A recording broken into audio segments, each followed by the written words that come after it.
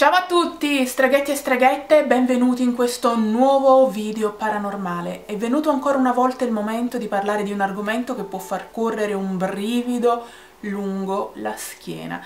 L'argomento di oggi so che vi interessa perché ogni volta sembrate accoglierlo con fervore, infatti parliamo di Ouija board e in particolare di esperienze di persone che l'hanno utilizzata. Le esperienze che vi racconterò vengono da un forum online che è Reddit, sono scritte in inglese ed ovviamente se mi vedrete guardare in basso è perché sto leggendo e traducendo contemporaneamente.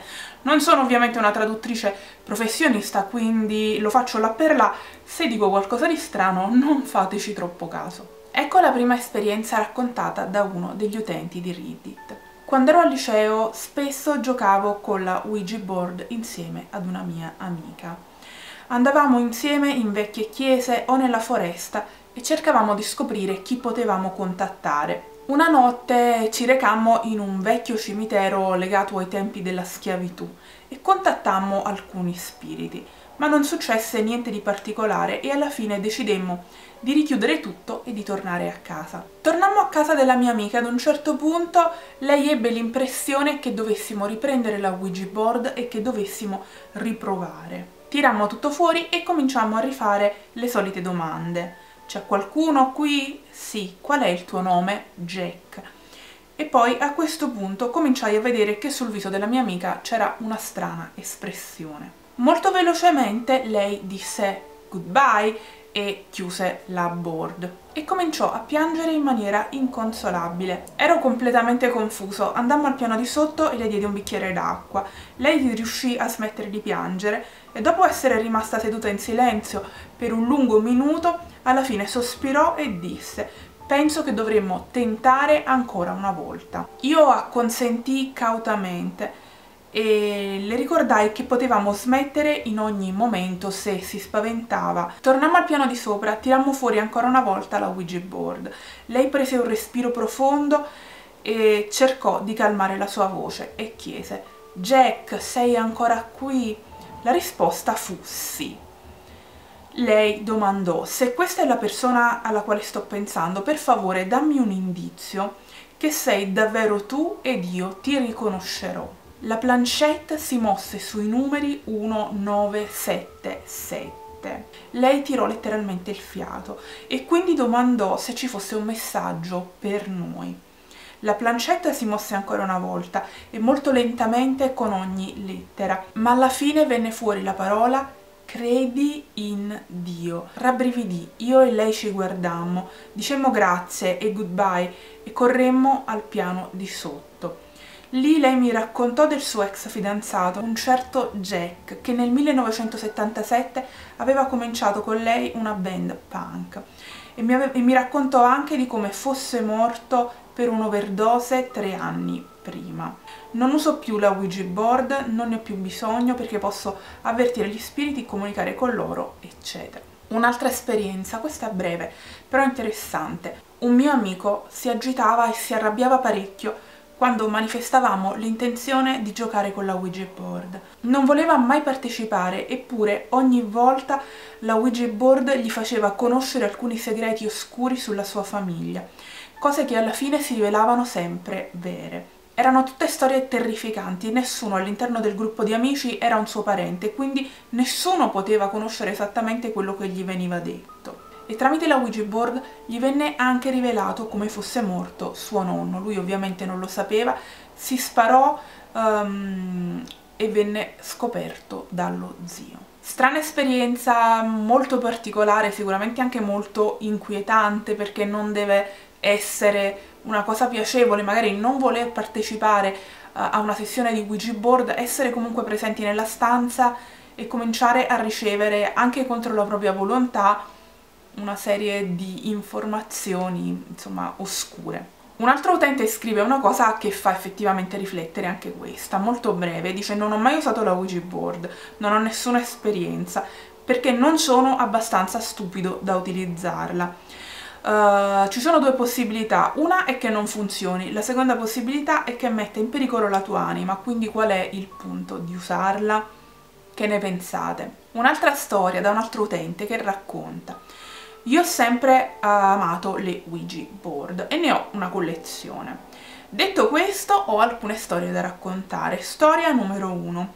Stavo utilizzando la Ouija board una notte, era piuttosto tardi, ed ero a casa di un amico che viveva nel vicinato. C'è un ruscello che scorre sul retro della sua proprietà e quando ci sono delle tempeste può gonfiarsi fino a diventare quasi della taglia di un fiume. Per questo motivo la città ha fatto installare degli allarmi contro gli allagamenti lungo tutto il ruscello allarmi che cominciano a suonare quando c'è un rischio imminente di allagamento. Era una notte senza nuvole e noi cominciammo a chiedere alla Ouija board di darci delle prove che ci fosse davvero qualcuno, qualche spirito insomma. Improvvisamente l'allarme contro l'allagamento cominciò a suonare e suonò per ben tre volte rispondendo alla nostra domanda non c'era pioggia, non c'erano allagamenti, il ruscello era semplicemente un piccolo ruscellino. Ho sentito soltanto un'altra volta uh, nel corso della mia vita, durante il corso della mia intera infanzia, quello stesso allarme e avvenne durante delle piogge torrenziali, quindi non c'era effettivamente motivo per cui questo allarme dovesse partire e forse era effettivamente partito in risposta alla loro domanda alla Ouija board. Sempre durante la mia infanzia, quando ancora andavo a scuola, uh, mi divertivo a giocare con la Ouija board da solo nella mia stanza di notte. Conversavo con uno spirito che si chiamava Kat e le lasciavo ogni notte delle piccole offerte. Era circa l'una uh, in una notte d'estate, quando finì di parlare con Kat e preparai una piccola ciotola con delle patatine, la misi sul mio comò e la lasciai lì in modo che Kat potesse prendere queste patatine se fosse stata affamata. Mi svegliai presto la mattina dopo, avevo dormito davvero poco e scoprì che la ciotola con le patatine in realtà era completamente vuota.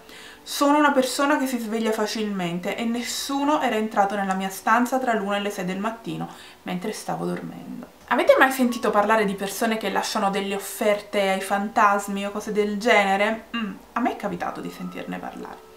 Che ne pensate? Altra storia. Tre anni fa alcuni amici vennero in visita dall'Europa. Era più o meno il periodo in cui l'uragano Sandy stava per colpire e diversi voli venivano cancellati oppure anticipati in modo che le persone potessero andarsene prima. I miei amici avevano prenotato i loro voli attraverso canali differenti ed erano uh, pronti a partire lo stesso giorno, lo stesso giorno in cui avrebbe colpito l'uragano Sandy.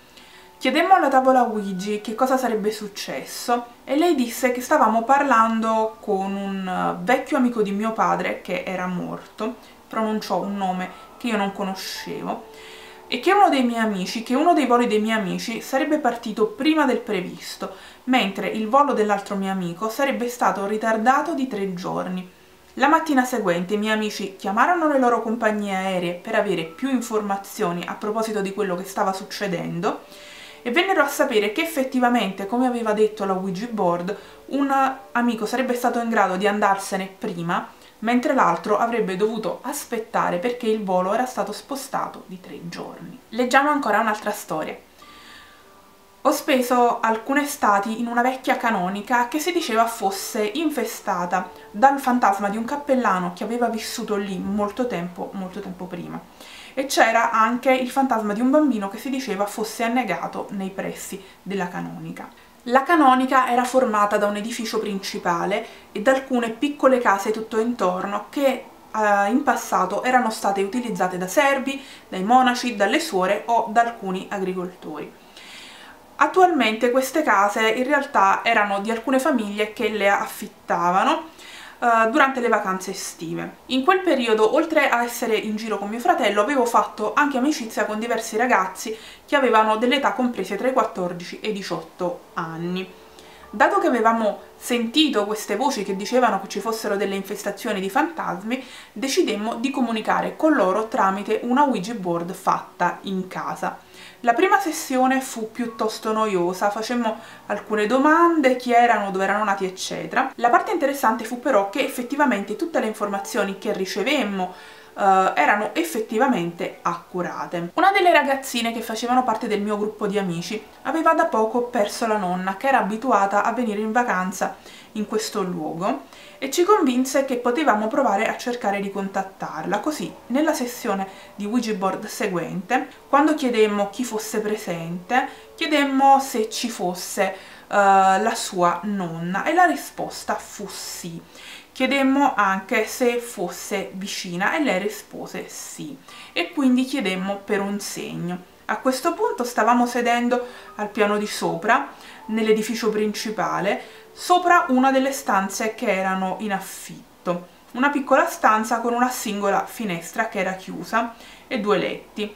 Tutti noi stavamo guardando intorno, spaventati, aspettando che qualcosa succedesse. Dopo un breve periodo sentimmo il suono di qualcuno che stava salendo sulle scale, qualcuno che indossasse delle suole di legno e circa a metà delle scale una voce roca cominciò a chiamare il nome di una ragazza. Alla fine i passi raggiunsero la stanza dove ci trovavamo e passarono oltre. A questo punto eravamo tutti seduti in cerchio sul pavimento, sei persone, una ragazza seduta con le sue spalle alla porta e alla sua destra la nipote che aveva chiesto di poter parlare con la nonna e tutti aspettavamo ancora per qualcos'altro. Improvvisamente la ragazza seduta accanto alla porta cominciò a iperventilare e delle lacrime riempirono i suoi occhi. Restammo tutti congelati dalla paura a questo punto. Non ho idea di quanto fosse trascorso, ma dopo che questa ragazza aveva cominciato ad avere questo strano atteggiamento, improvvisamente si fermò e la stessa cosa cominciò a farla la persona che era alla sua sinistra. E andò avanti così fino a quando venni raggiunto anche io. Ebbi l'impressione che qualcuno mi stesse toccando le spalle e non era esattamente come un tocco fisico di un essere umano, però c'era qualcosa, non riuscivo a capire cosa, che sembrava aver messo del peso sulle mie spalle. Ovviamente anche io mi congelai e iniziai a iperventilare, perché la sensazione di avere qualcosa di sconosciuto che ti tocca era davvero sconcertante. Dopo aver percorso metà del cerchio di persone, qualunque cosa ci stesse toccando, improvvisamente si spostò direttamente sulla nipote, che cominciò a iperventilare anche lei e cominciò a piangere. E poi improvvisamente la porta si aprì, tutti quanti saltammo agli angoli della stanza cercando di nasconderci. Fortunatamente all'epoca era presente uno dei parenti che era un medium e questa persona dichiarò che quello che stavamo facendo era sbagliato che mentre era al piano di sotto improvvisamente aveva avuto la sensazione proprio che ci fosse qualcosa di sbagliato e corse immediatamente da noi. Fu lei ad aiutarci a chiudere questa sessione con la Ouija board e non successe più niente eccetto per il fatto che eravamo tutti spaventati da morire. E per questa volta streghetti e streghette mi fermo qui con queste esperienze con la Ouija board, alcune terrificanti, alcune stravaganti, alcune particolari. Se conoscete o se vi sono capitate delle cose simili mi raccomando lasciatemi un commento qui sotto e fatemelo sapere. Io vi ringrazio per essere stati con me, come al solito vi ricordo se vi va iscrivetevi, condividete il video, commentate, mettete un mi piace eccetera eccetera. Noi ci vediamo la prossima volta, venitemi a trovare anche su Instagram, lì mi trovate con il nome Alrakairam, lo sapete ormai. Grazie, grazie ancora per essere stati con me e ciao!